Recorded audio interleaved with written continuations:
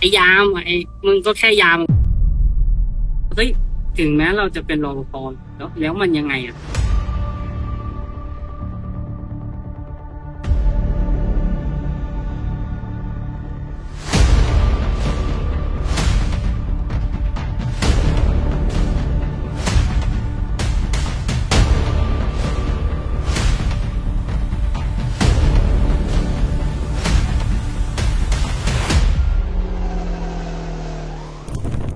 ทำงานที่บริษัทเป็นรถบขสครับ เป็นพนักงานจำหน่ายตั๋วครับ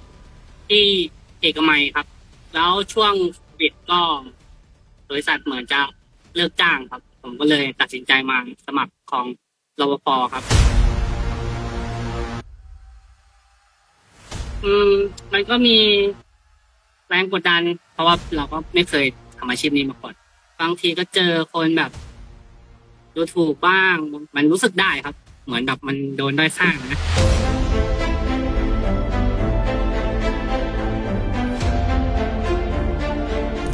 ส่วนใหญ่นะครับ ก็จะเจอแบบ ก็เจอคนพูดประมาณว่า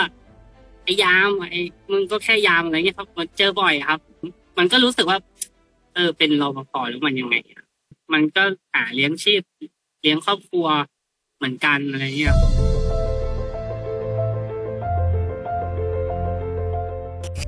รั้งที่เวลาผมซื้ออาหารเหมือนกัน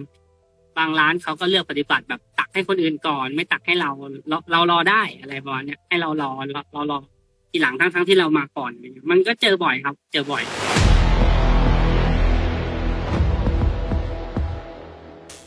เราก็ไปเที่ยวได้ใครๆก็ไปเที่ยวได้ใช่ครับมันก็เป็นสถานที่ในในในคาเฟ่แต่ละคาเฟ่ที่ผมไป ผมก็ชอบถ่ายรูป เวลาแบบผมทำงานมาเหนื่อยแล้ว ผมผมชอบชอบไปเที่ยวคาเฟ่ชอบไปเช็คอินไปถ่ายรูปสถานที่สวยๆอะไรเงี้ยครับ มันก็เลยแบบทำให้ผมนึก เออ คนบางคนมันมองเราแบบดูถูกเราเกินอะไรเงี้ยทั้งทงที่เราก็ไปเที่ยวเหมือนคนทั่วไป เราก็เราเราก็ไปเช็คอินเหมือนคนทั่วไป มีเทศกาลไหนเราก็เที่ยว เออ ไปเทศกาลปีใหม่หรือว่าคริสต์มาสหรือว่าอะไรฮาโลวีนเราก็ไปเราก็ไปเหมือนคนทั่วไปแหละครับ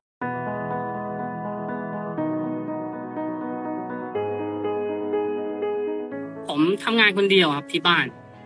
ค่าจ้างวันละห้าร้อยี่สิบเก้าบาทเองครับ ก็ไม่ได้มากไม่ได้มายครับ แต่ผมวงเวียนด้วย ผมก็ได้ประมาณสองหมื่นผมมีลูกสองคนแล้วภรรยาหนึ่งคนครับ ที่เขารออยู่ที่บ้านแล้ว ประมาณว่าผมทำงานคนเดียวครับ คือค่าใช้จ่ายทั้งหมด ค่าใช้จ่ายทั้งหมดการดูแลครอบครัวแบบเรื่องรับผิดชอบทุกอย่างไม่ว่าจะเรื่องกินเรื่องนอนเรื่องอะไรคือทุกอย่างเลย คือมันอยู่ที่ผมคนเดียว ผมก็เลยต้อง คือมันมีความคิดอยู่ความคิดหนึ่งว่า ถ้าเราอยากมีเงินมากเราก็แค่ต้องทำงานให้มากกว่าคนอื่น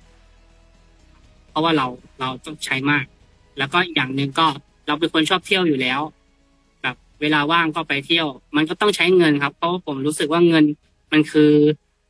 แรงขับเคลื่อนทุกอย่าง ถ้ามันถ้าเราไม่มีเงินทุกอย่างมันก็มันก็ไม่ได้ครับ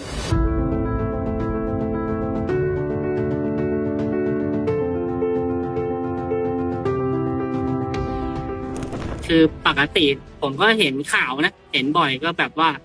ตกใจบางบางข่าวก็จะมีนำเสนอว่าตกใจรปภมีคอนโดรรปภมีรถมีอะไรเนี่ย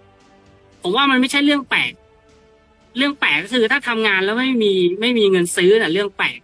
เออถ้าทำงานแล้วมีเงินซื้อ อันนี้ไม่แปลกครับสำหรับผมนะรปภส่วนใหญ่มันก็จะแบบดูแพลนตัวเองบ้างบางทีแบบเออเรามันก็แค่รปภนะอะไรเงี้ยแต่ผมที่ผมจะสื่อก็คือว่าเฮ้ยถึงแม้เราจะเป็นรปภแล้วแล้วมันยังไงอะ เราก็ไปได้ เราก็เที่ยวได้ เราก็มีความสุขได้